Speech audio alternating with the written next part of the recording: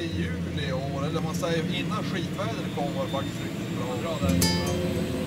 Men då på senare tid har det varit lite sämre. Jo, det är klart.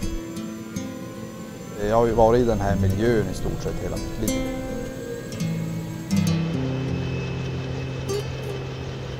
Framförallt då jag har vackra dagar ute på fjället så är det ju, är ju en gåva som man ska vara tacksam över.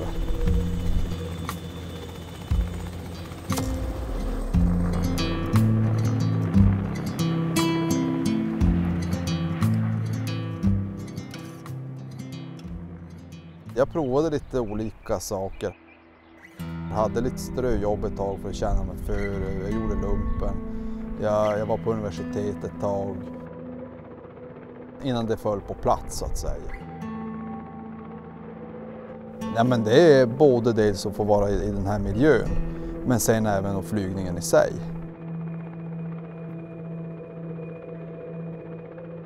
Alltså det är ju en, en blandning mellan där du har där mer högalpina som i Sarek och där du har mer den här mjuka fjällvärlden som vi ser är söderut.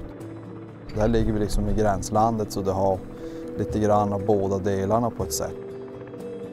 Du har klippiga fjäll eh, men samtidigt runda och mjuka.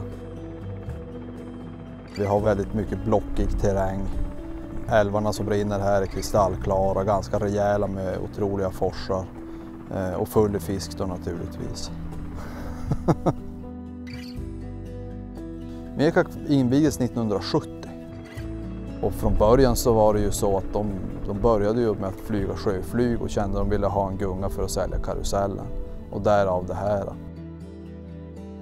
Du får träffa väldigt mycket olika människor från olika bakgrunder och länder och, och många kommer ju hit av samma sak oavsett om det är fiske eller skidåkning eller jakt.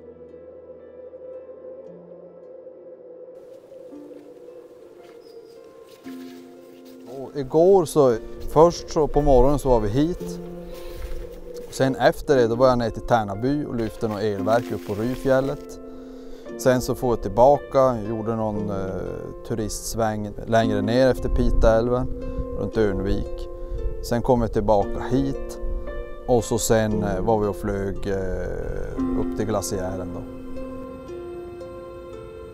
Vi flög och kom över ridån så vi kunde se den här glaciären då på långt håll. Eh, innan vi då kom närmare och fick då se det gröna vattnet i Pieskiaur, sanddeltat eh, där sjön börjar och sedan upp efter och se den här lummiga gröna dalen som är innan glaciärterrängen tar vid. Sedan då få se den här glaciärmiljön med blå is med sprickor och hur det, vattnet kommer ut och där Piteälven föds. Det är en fantastisk miljö, det är en av de häftigaste miljöerna vi har i Sverige, utan tvekan. Man försöker att inte bli likgiltig inför det. För det mesta så är jag glad när jag går hem från jobbet men det finns dagar också där jag varit glad att stänga av den för dagen och är färdig.